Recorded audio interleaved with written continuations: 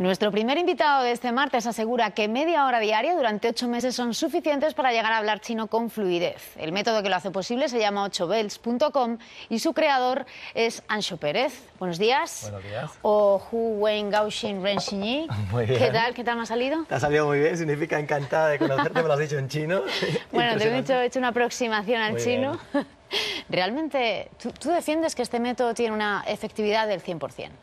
El del 100%, pero no es un método milagro. O sea, si la gente dedica sus 30 minutos al día, efectivamente no funciona en el 99, funciona en el 100% de los casos. ¿Y qué se llega a conseguir? Eh, cuando yo digo hablar chino, ¿es entender, ser capaz de tener una conversación, leer en chino? Claro, la gente me dice, bueno, ¿qué, ¿qué significa eso? ¿Que en ocho meses voy a ser experto en chino y dar discursos en China en chino? La respuesta es no, ni de broma. lo que sí que vas a poder hacer, y lo que es quizá revolucionario de lo que hemos conseguido en 8bells.com, es que esa barrera que la gente decía es imposible soltarse a hablar, esa barrera se rompe. Y pasados ocho meses puedes mantener una conversación en chino de una hora, por lo menos, sin hacer uso del inglés, sin hacer uso del español. Y bueno, esto es algo que nunca había sucedido anteriormente. Y desde luego que, que tu autoestima esté por, los, por las nubes. Porque, por ejemplo, en España tenemos muy mala fama con los idiomas. Sí, dice que somos terribles para los idiomas. Yo defiendo que eso es mentira. No nos falta ningún tipo de capacidad mental para hablar en un idioma. Y el mensaje que yo doy es esperanzador, ¿no? Lo que yo digo es que cuando alguien no aprende un idioma, la culpa no es de él, es del método. Si Qué se, bueno si esto, se qué enseña bueno. adecuadamente, siempre se aprende. Qué bueno poder echarle la culpa a otros, quiero decir. Pero hay que trabajar duro, esto sí que hay que dejarlo claro, ¿no? Media Exacto. hora de entrega total. Sí, bueno, son 30 minutos al día, pero es como un juego, es todo a través de la plataforma 8bells.com. Es- Nosotros no somos una academia, es, es todo por internet, de ahí que ya tengamos alumnos en más de 40 países a día de hoy.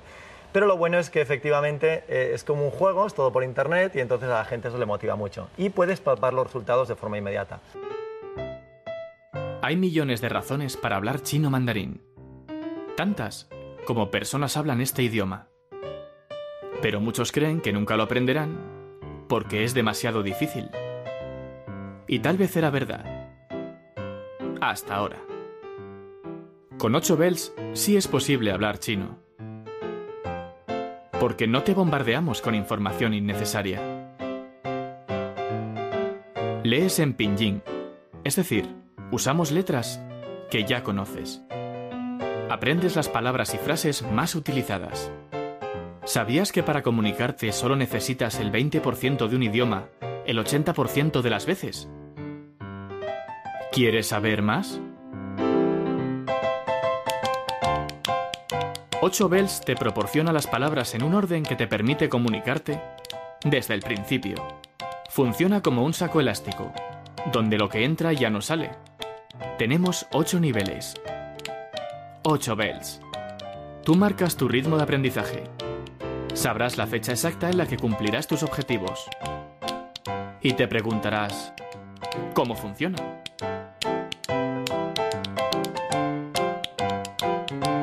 8 Bells es una ruta, con un maestro, el sabio Link, que te guiará por las diferentes salas de aprendizaje. En la sala del agua, pondrás a prueba tu memoria.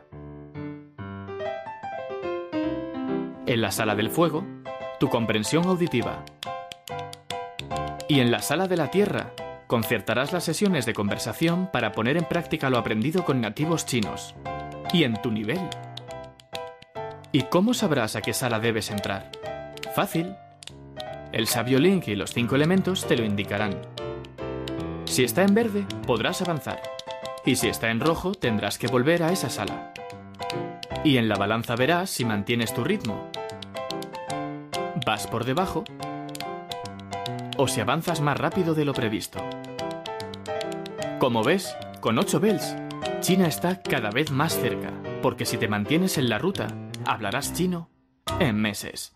Tú hablas nueve idiomas, o sea que hay que reconocer que tienes como mínimo una facilidad, un talento que no todo el mundo tiene.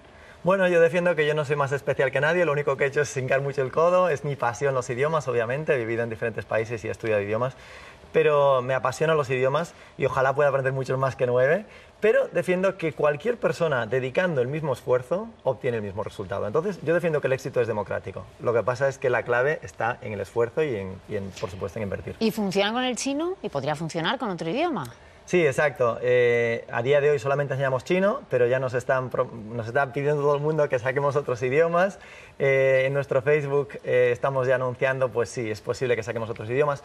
Pero el, el, nombre 8bels.com viene, la gente me pregunta de dónde sale ese nombre, es que es una ruta de aprendizaje del idioma en la que lo que consigues, los hitos dentro de la ruta son belts, que significa cinturones en inglés, por tanto es la ruta de los ocho cinturones, de ahí el nombre de 8belts.com. Y yo creo que habrá mucha gente que quizá ha oído hablar de Ancho Pérez, no sé si eh, en relación eh, a, tu manera de enseñar chino, de aprender chino, sino como un emprendedor de éxito, un, tipo joven que ha viajado mucho, que ha vivido eh, en muchos países y que ha tenido experiencias profesionales muy exitosas y en diferentes ámbitos. ahora lanzas este libro, que se llama Los 88 peldaños del éxito, eh, en el que de alguna manera decides compartir eh, algunas de las claves o de las fórmulas maestras que a ti te han funcionado. ¿Lo podríamos resumir así? Sí, exacto. Eh, la gente me dice, bueno, has conseguido hacer todas estas cosas o hablar nueve idiomas o no sé, o o aprender, no sé, estudiar cinco licenciaturas. Bueno, pues ¿cómo se hace todo eso? Yo considero que no soy más especial que nadie, lo decía antes. Creo que sí que existe una serie de claves que son aceleradores del éxito, que te acercan a aquello que tú definas como tu propio éxito. Y lo único que he hecho es recogerlos el trabajo de muchos años, porque acaba de ser publicado este libro, pero realmente fueron 13 años de trabajo de recuperación de ese tipo de secretos o claves. Y lo único que hice fue ponerlas en un libro el libro ha resultado ser un tremendo bombazo. Eh, tras 50 días tras su publicación, Los 88 peldaños del éxito se convertía en el libro más vendido de toda España. Y hace exactamente unos días me llamaban de eh, Alienta, la editorial de Planeta, para decirme que está saliendo la, décima edición antes de, cinco, antes de cinco meses. Y bueno, es insólito para mí. Yo no me considero ni autor ni, ni motivador y quizá la, clave que más resume este libro, yo digo que es un libro cargapilas para motivar a la gente. Eh, España estaba a falta de un mensaje que fuera positivo y no negativo. Y bueno, pues yo creo que el peldaño que mejor resume, el libro es que el enemigo de la vida no es la muerte, es, no hacer nada. Es el desaprovechamiento. Ajá.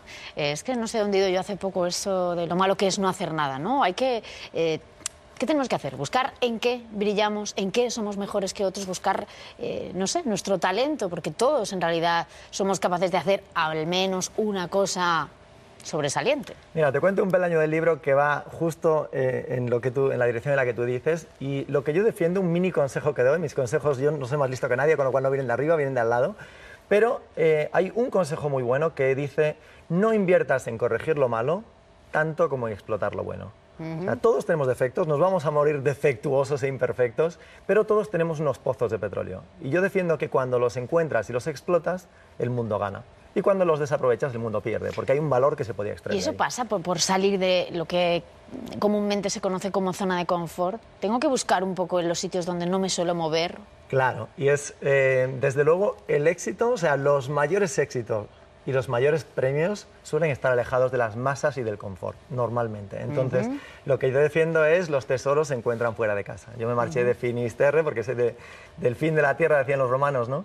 Y me marché con 15 años a Estados Unidos. No significa eso que todo el mundo tiene que irse a Estados Unidos o a otro país para encontrar, para encontrar aquello que ellos definan como el éxito. Se puede conseguir en la, propia, eh, en la propia tierra, pero haciendo cosas pagando un precio mayor. Si quieres un premio mayor, tienes que pagar un precio mayor. Y ahí es donde entra pues, el riesgo. Digo que con la monotonía no se sufre, pero sin el riesgo no se crece. de hecho, tú has vuelto a la patria, no te has quedado en ninguno de los países donde has estado viviendo en los últimos años, que han sido bastantes, te has movido mucho, creo que has vivido en China, has vivido en Estados Unidos. Sí, exacto, trabajé en la eh, ONU en Ginebra, trabajé, eh, estudié en, Bélgica, en, Bruselas, en Bélgica, eh, y curiosamente para pagarme esa titulación, que era la quinta y última, tocaba un piano bar para, para pagarme los estudios, ¿no? O sea que he sido un poco buscavidas, mi vida es, es un poco curiosa, pero yo lo que defiendo es que, y esto es interesante, ¿no? que es que mucha gente dice, bueno, es que eh, considero que el éxito es muy complicado porque es que yo no tengo grandes talentos o grandes habilidades. Y yo tengo un mensaje muy positivo para ellos también, y es que defiendo que todos tenemos por lo menos un talento que dejaría al resto de nuestro entorno boquiabierto. Todos. Y esto lo he visto ahora ya en, eh, o sea, 8 Bells ha crecido muchísimo, en, tres años pues hemos pasado de 1 a 52 empleados, hemos crecido un 3.000%, y he tenido que entrevistar a mucha gente para, para, para mi empresa. Y lo que yo veo es que todos tenemos por lo menos un talento. Incluso aquellos que dicen, no, es que yo a lo mejor tengo menos confianza en mí mismo, todos tenemos un talento. Y lo que diría es, bueno, si quieres encontrar trabajo y no lo encuentras, no mandes un currículum a un océano de currículums, busca algo diferente para obtener un resultado diferente. Si quieres llegar a un camino distinto, tienes que coger un camino diferente. Claro, quizá el camino del éxito a veces no es esa gran autopista, ¿no? Es un pequeño camino que otros no han transitado, ¿no? Podríamos pensar algo así. Yo creo que sí, ¿no? A veces, eh, bueno, si haces lo mismo todos los días, pues quizás no sea de extrañar que vayas a obtener el mismo resultado. Creo que es el peldaño número 4 del libro y lo que dice es, no puedes conseguir más que nadie haciendo lo mismo que todos. Bueno, está claro que tienes mucho que, mucho que contarnos. Eh, tu vida has hecho un montón de cosas distintas. Creo que has sido también intérprete de Obama. Eh, en realidad, ocho minutos, diez minutos se nos quedan muy cortos. No da así para que tanto. se nos ha ocurrido que, que vengas al programa con cierta frecuencia y nos vayas contando alguna de tus aventuras y cada uno que saque una lectura, ¿no? Un poco de coaching o de trabajo así de motivación, de inspiración. ¿Qué te parece? Pues sí, agradezco la invitación. Creo que va a ser un placer para mí poder venir con, con mayor frecuencia. Y curiosamente hay un- una máxima en el libro Los 88 peldaños que encaja perfecto con la aventura del saber, porque dice que puede que el conocimiento no haga tu vida más larga, pero sí más ancha, con lo cual el saber no ocupa lugar. Venga, gracias, Ancho, y hasta pronto. Un placer estar aquí.